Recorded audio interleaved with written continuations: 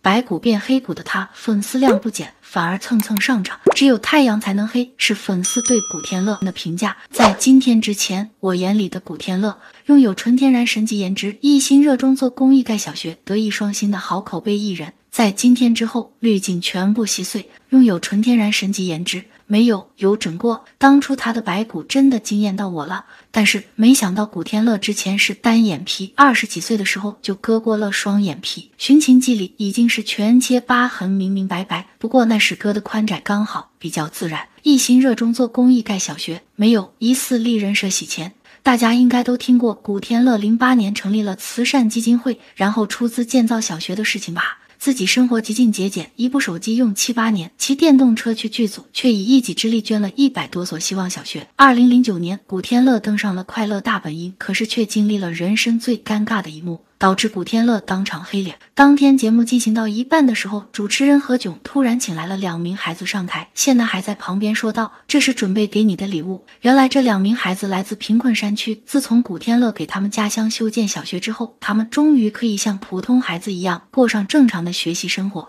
为了感谢这位恩人，也为了能见恩人一面，所以节目组就把这两名孩子邀请到了节目上。得知孩子们的用意后，古天乐也是十分的吃惊，这也导致很多观众。为他做慈善的行为而感动，大家都叫他古校长。只不过面对这个意外之喜，古天乐却没有任何的表示，甚至还暗搓搓的嫌弃节目组太多事。我那时候以为整所小学都是他出资建造的，希望他红一辈子，这样他就有钱做公益。直到今天，我才知道这么多小学都是政府出资占大头，他个人捐的是二十万、五十万的冠名费。剩下的几千万是某企业和当地部门掏的，但慈善的红利全被古天乐收入囊中了。就连当时的第一娱记卓伟也曾曝光此事，直言古天乐未必做了多少善事，但却留下了很大的好名声。正如网友所言，这里并不否认古天乐做过慈善，但要是以伪慈善换真名利，则显得太不厚道了。很巧合的一个点，洗米华大家都知道吧？澳门太阳城创始人、亚洲新赌王周超华。古天乐的慈善基金会是认识席米华那年成立的。有一年，古天乐上台拿奖，席米华居然是作为好友一同陪同古天乐出席颁奖典礼，足见二人之间的关系。前年席米华被抓后，古天乐再也没有捐过任何冠名费了。在古天乐的代言名单中，不只有太阳城，还有另一家争议品牌。古天乐曾经代言过某微商产品，品牌方曾发文证实给了古天乐两千万代言费。并保留古天乐为该品牌站台的照片。然而，该品牌被指涉嫌传销，更被用户投诉假冒伪劣。要知道，森米可是个臭名昭著的三无产品品牌，主要是打着快速减肥的名义，对消费者兜售奶昔、酵素等减肥产品。整个产业的运作模式就是传销经典的拉人头、发展上线下线的模式，而且产品效果非常垃圾，害了不少人。一旦买了产品，森米就会洗脑你加入公司发展下线。很多人用了他们的产品，身体都出现了问题。消费自己的名誉去代言这样害人的垃圾，虽然经纪团队肯定是脱不了干系，但是古天乐不可能是完全不知情的吧？毕竟，先不说古天乐到底付出了多少，但捐出的那么多小学确实是存在的。只不过古天乐的黑料远不止于此。德艺双馨的好口碑艺人，不是古天乐坐过牢，还被曝脾气暴躁打过人。二十来岁的古天乐，胸无点墨，目空一切，每天和一帮狐朋狗友们混在一起。不是吃就是喝，吃吃喝喝一天又一天，一天吃完了喝完了，没钱了，就和一群哥们想到一个来钱的好方法，那就是蹲在女厕所门口等女孩子出门来时抢劫钱包，结果被抓，判了一年又十个月。没想到哥们中的一个不地道，趁他入狱之时，竟然对他女朋友下手，气得他趁对方来探监时，对那个哥们大打出手，拳打脚踢。没办法，监狱只好又对他加刑三个月。出狱后的古天乐也是时来运转，竟然因为长得帅进了娱乐圈，还出了点小名。被狗仔揭发他黑料，他却两手一摊，死活不承认，还反问教导所是干什么的，立单纯人设。幸亏老前辈黄沾劝他老老实实做人，踏踏实实演戏，他才最终认了。然而多年后，他却在自传中把自己的错误推得干干净净，说什么当初都是那帮哥们太坏了。他是被带坏的。所谓交友不慎失业。因为他当年什么都不懂，只懂得做人要讲义气。可他改造出来后，却并未完全收敛。二零零一年，他已经大火了的那会，他又和同伴在厕所毒打过一名古董商人。据说，是古天乐在和好友林国斌在 KTV 唱歌的时候，与一位古董商人起了冲突。期间，古天乐对这名商人下了狠手，把对方打到头破血流，倒在地上起不来。事后，这位商人被送往医院。由于两人下手太狠，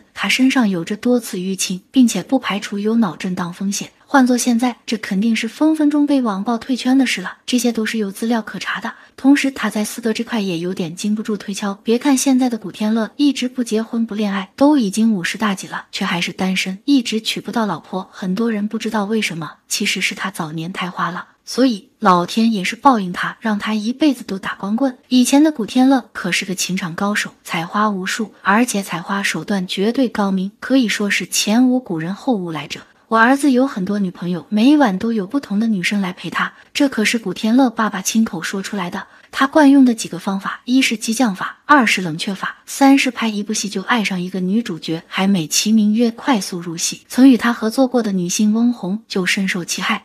两人共同出演过电视剧《乾隆大帝》，在该剧中，古天乐扮演雍正，而翁虹扮演庄玉儿。两人在戏里有大量对手戏。时隔很久之后，有剧组知情人透露。当时古天乐进入化妆间之后，就开始辱骂正在化妆的翁虹，言语十分不堪，持续时间长达二十分钟，翁虹只能含泪忍受。翁虹在记者会上哭诉两人之间的种种细节，他表示两人合作拍戏期间，古天乐经常主动示好，只要他有难处，古天乐保证第一时间现身解决，还经常主动打电话给他。之后，古天乐突然对他冷淡，甚至在拍戏时表现出来。在翁虹询问之后，古天乐却是满嘴醋意。感觉就像是遭到拒绝之后，对翁虹心怀恨意，而因为翁虹的口碑不太好，这件事一度被认为是翁虹蓄意炒作。古天乐方面的解释则是说，翁虹当时迟到了，所以古天乐才骂了他。翁虹向媒体哭诉自己的痛苦，即使过去很多年，也还是常常做噩梦，一想到他的名字就吓得睡不着。还有传言称，古天乐祸害的不止翁虹一个女星，还有张玉山、蔡少芬等人。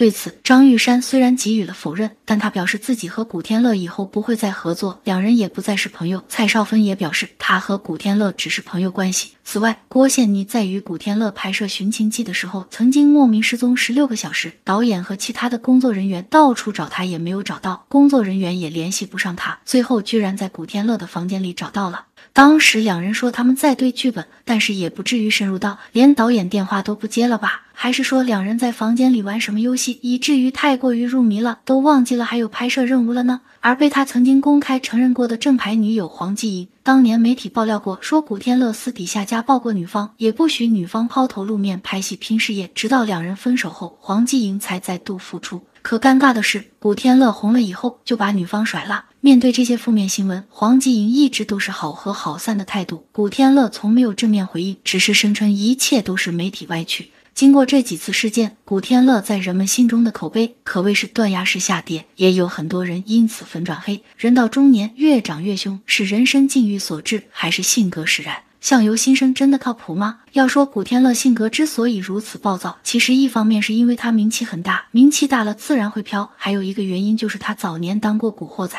古天乐最落魄的时候，只有张国荣帮过他。古天乐出生在一个贫寒的家庭，由于家里交不起学费，在十几岁的时候他就辍学了，并且在街上找了一份搬运工这样的苦力活。由于太早出来混社会，也导致古天乐的性格比较急躁。之后他也感染了一些不良的风气。当年香港的古惑仔文化盛行，古天乐也加入到了其中，成为其中的一员，每一天跟着兄弟们去收保护费。结果有一次，他在替自己的兄弟们望风的时候，被警察抓了个正着，而那些和他称兄道弟的人，则是立马跑了。进入局子后，古天乐没有为自己辩解，而是默默地扛下了所有罪名。之后入狱一年之后，古天乐又听说自己的女朋友和好兄弟们好上了，这让他深感自己被背叛，在狱中和好兄弟大打出手，导致刑期又加长了一年。出狱之后，古天乐下定决心不再当古惑仔，而是洗心革面，重新做人。凭借着出众的外貌，他开始在一家模特公司当经纪人。有时候别人没时间上了，也会让他当个替补。久而久之，公司也觉得他很有当模特的潜力，于是将他安排成了艺人。后来他就在一些影视剧里面跑跑龙套。在那个年代要出头，并没有那么容易的。古天乐出道几年了，还是一个小龙套，还是在张国荣的介绍下，他才有了出人头地的机会。当时有制片人问哥哥有什么新人可以用，张国荣二话不说就推荐了古天乐，并且还让身边的剧组有需要的就去找古天乐。在他的帮助和提携下，古天乐的事业才得以发展。而他也曾在节目中公开感谢过张国荣。只是这次张国荣的眼光似乎不大好，看好的女艺人张柏芝是个黄花精，看好的男艺人这次又是这种情况。希望这次的事件，古天乐可以出来给大家一个解释，别像以前一样回避了。